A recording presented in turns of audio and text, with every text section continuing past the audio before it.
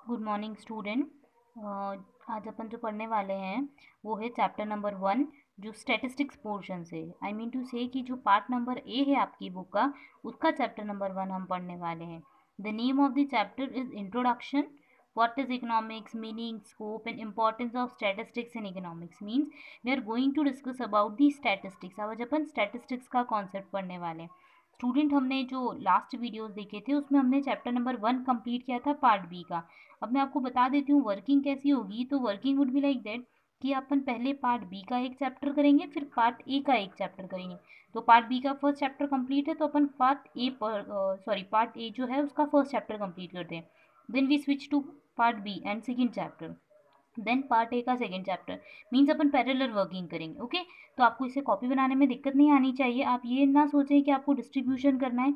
It would up to you कि आप क्या करना चाहते हैं। आप चाहें तो कॉपी में डिस्ट्रीब्यूशन करके ए पार्ट में आंसर्स और कंटेंट लिख सकते हो और बी पार्ट में लिख सकते हैं। आप चाहें तो कंटिन्यूएशन में लिख दीजिए। Part A chapter number one part B chapter number one जो भी आपको कंफर्टेबल लगता, ठीक है? That was related to copy now let's move on to topic so the topic is that कि सबसे फ़र्स्ट स्टेटमेंट जो है हमारे चैप्टर के अंदर वो है क्या है what is economics means it's a new subject for you तो आपने अभी तक टेंथ में इकोनॉमिक्स वैसे तो पढ़ा होगा बट आज अपन उसको बहुत डिटेल में पढ़ेंगे। तो व्हाट इज़ द इकोनॉमिक्स ठीक है? इकोनॉमिक्स क्या होता है? तो जैसे हम ये चीज़ का आंसर ढूंढते हैं तो वी हैव थ्री पॉइंट्स ठीक है? मीन्स वी कैन से कि that economics would be divided in three parts और we can say the three version of economics would be there so first person was that कि it is wealth oriented means some of the economist या फिर some of the person thought that anything which is related with wealth creation would be economics ठीक है? Means first the definition of economics would be wealth centered next अपन इस chapter में पढ़ने वाले हैं welfare oriented definition means the definition given by a person who says that economics is welfare oriented means economics क्या है? Welfare से related है। Next is the definition given by a person which is related to scarcity ठीक है, मैं आपको भी बताऊँगी किसने कौन सी डेफिनेशन दी है। So scarcity is definition would be like that कि आपको स्कैरसिटी के बारे में देखना है that anything which is related with scarce ठीक है scarce nature would be economics या फिर हम पढ़ने वाले अदर डेफिनेशन इसमें अपन बड़े बड़े इकोनॉमिस्ट बड़े बड़े लोगों की डेफिनेशन पढ़ते हैं। स्टूडेंट ये जो वीडियो आप देख रहे हो ना इसके पहले आप आपका वो ध्यान रखना। हमने जो पार्ट बी के अंदर फ़र्स्ट वीडियो पढ़ा था ना, वो बहुत इंपॉर्टेंट था, वही हमारा बेस था। ठीक है? तो वो अपन सबसे पहले डिफाइन कर लेते हैं या देख लेते हैं किसने कौन सी डेफिनेशन दी। तो wealth center definition was given by Adam Smith ठीक है? ये डेफिनेशन हमको किसने दी है the name of the economist is Adam Smith अभी अपन बस ये देखते हैं कि किसने कौन सी डेफिनेशन दी है, फिर मैं आपको डिटेल में बताऊँ।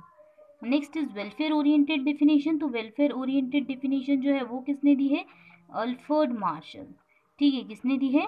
Alfred Marshall. आपको इन लोगों के नाम बहुत अच्छे से ध्यान रखने हैं, क्योंकि आगे भी ट्वेल्थ क्लास में भी ये इकोनॉमिक्स में अपनी जो अलग अलग अदर व्यूज़ भी प्रेजेंट करे हैं, वो भी आएँगे। नेक्स्ट स्क्वायर सिटीज़ की डेफिनेशन तो स्क्वायर सिटी की डेफिनेशन जो दी है, वो किसने दी है? प्रोफेसर रॉबिन्स ने। ठीक है, किसने दी है? प्रोफेसर रॉबिन्स ने।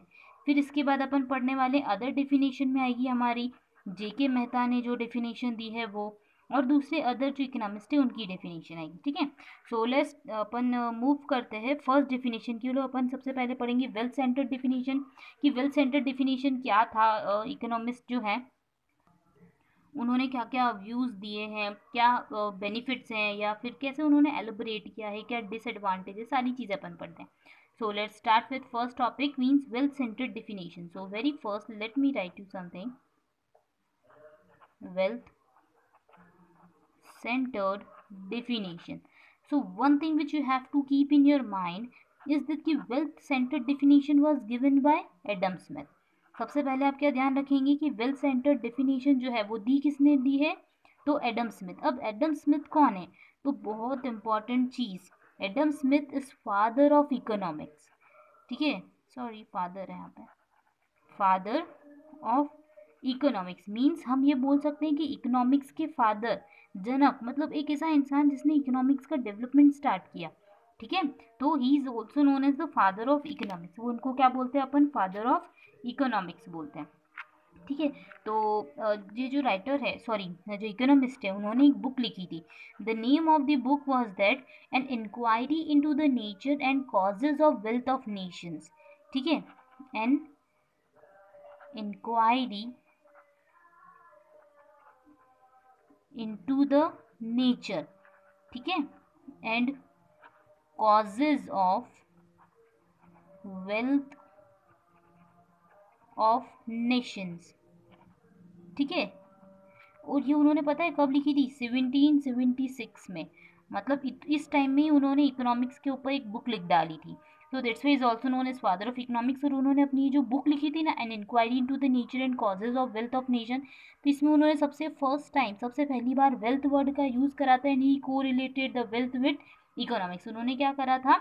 वेल्थ को इकोनॉमिक्स से को रिलेट किया था।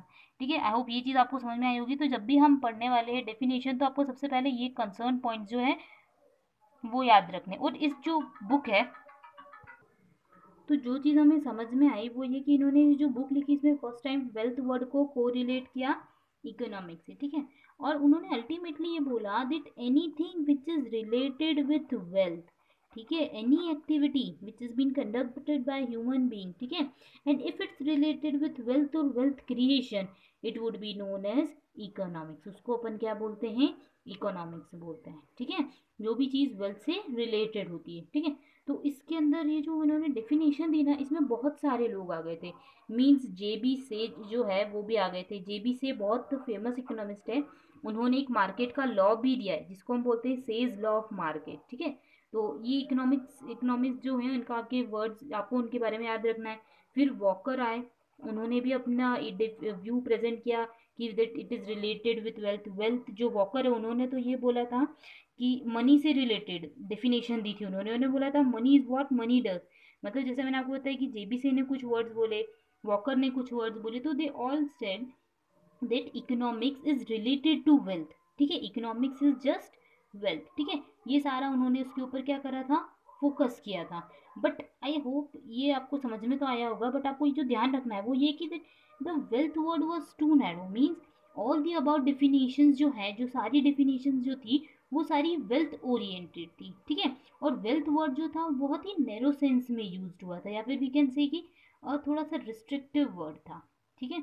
तो इसके थ्रू हमको एक डेरिवेशन मिलता है that economics would always have some points of criticism ठीक है? मतलब कि हम ये बोल सकते हैं कि जो सारे व्यूज़ प्रेजेंट करने के बाद कि इकोनॉमिक्स लोगों ने उसको कुछ लोगों ने क्रिटिसाइज भी किया। उन्होंने कुछ अलग वर्ड्स बोले या कुछ अलग उनके व्यूज़ थे, ठीक है?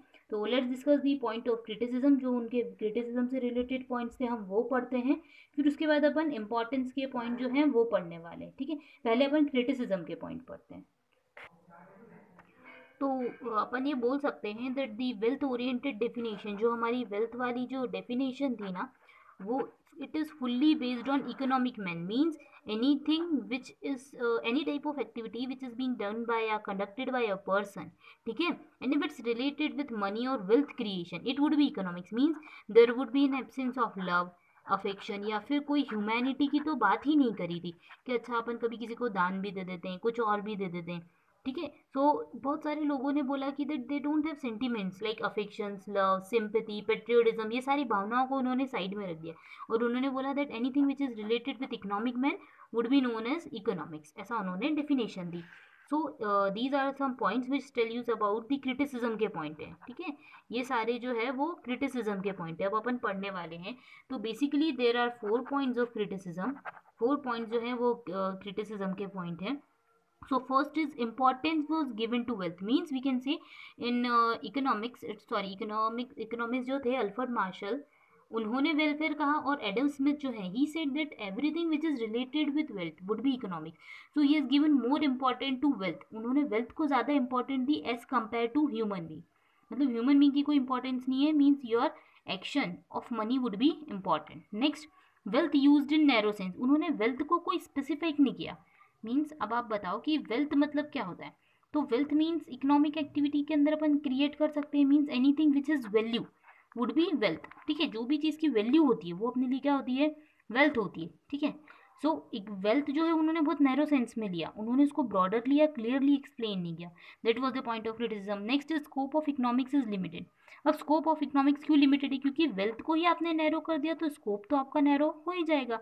येस और no means you have some boundation तो यही पॉइंट होता है थर्ड की scope of economics became limited next जो है उन्होंने जो अजम्पन दी ना इकोनॉमिक मैन की, वो अननेसेसरी थी. Means we can say that assumption of economic man is unnecessary ठीक है, ये इसको बताने की ज़रूरत नहीं थी। और and he said that economics is related with human being उन्होंने बोल दिया कि इकोनॉमिक्स जो है वो ह्यूमन बींग से रिलेटेड है और इकोनॉमिक एक्टिविटी से रिलेटेड है।